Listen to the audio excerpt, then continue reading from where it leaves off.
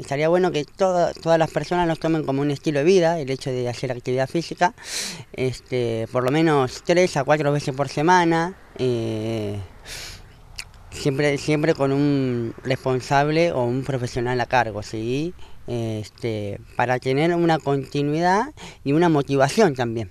Este, tiene muchos beneficios la actividad física, no solamente en lo que aborda lo que es salud, sino también a lo que es eh, el fin social. Hay mucha gente que, recurre a la actividad física para, estar con gente y generar amistades y hacer buenos, buenos momentos. Eso también hace a la buena salud, así que es todo un, complemento. Primero hacerte un chequeo, siempre un chequeo general, ¿sí?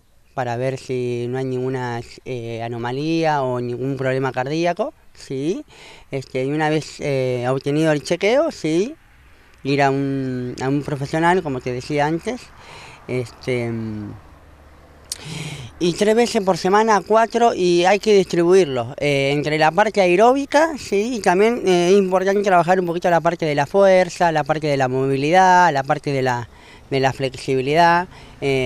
Siempre y cuando hay que adaptar cada actividad a cada persona, ¿sí? Porque hay personas que, vienen de alguna operación o tienen algún dolor habitual todos los días, este, y hay personas que vienen de un sedentarismo, entonces eso hay que tenerlo en cuenta, ¿sí? Para no arrancar de golpe. Es importante eso, es ir eh, día a día, ¿sí? siempre consultándole a la persona cómo se siente, si, si ese tipo de actividad física que hizo eh, ese día no, influyó de manera negativa. Em, hay que acompañarla a la persona, sí.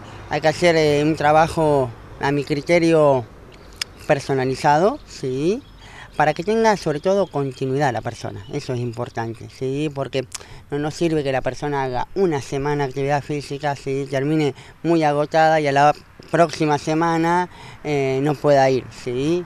Siempre hay que tener en cuenta que en la sociedad de hoy, en, de hoy en día las personas trabajan mucho, ¿sí? hasta algunas trabajan más de 8 horas diarias, entonces al momento de hacer una actividad física hay que tener en cuenta eso.